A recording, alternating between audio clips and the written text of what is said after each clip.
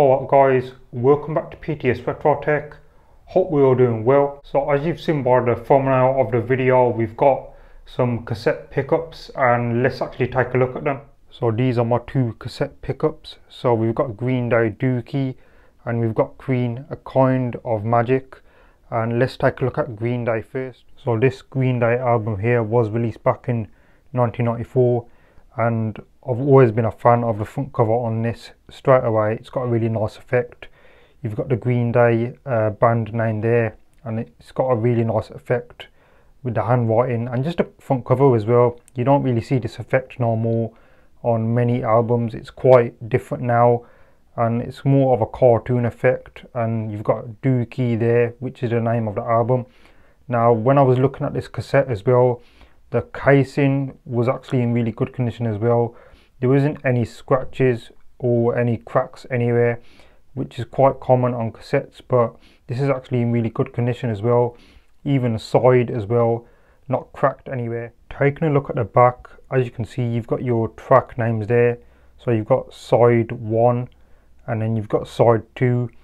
One thing that i really like as well about this casing is how you've got the sony uh, music logo as well along there. Most old cassettes used to get this and it is really nice to actually see it as well. The general condition is really good on the cassette. As you can see it's not faded whatsoever as most cassettes can be quite faded over time but this has hardly been used which is another reason why I bought it as well.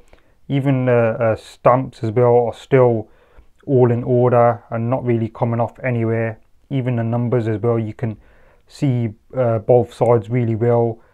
And again the reason why I picked it was because it's in really great condition. Not many scratches.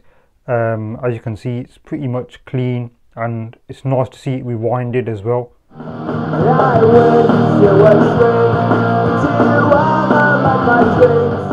Taking a look at the Queen cassette this is actually in good condition as well. Few scratches here and there uh, but nothing too major.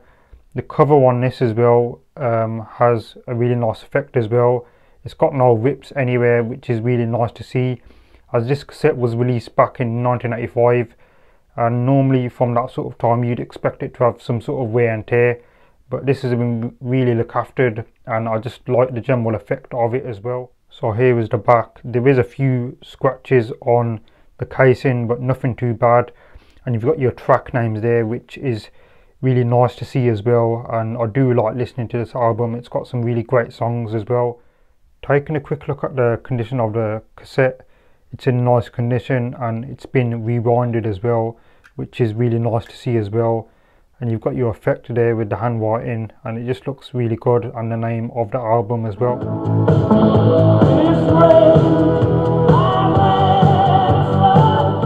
Hope you enjoyed the pickup. If you did, give it a thumbs up and subscribe as well.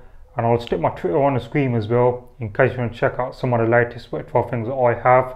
But until next time, I'll catch you guys in the next one. Thanks for watching.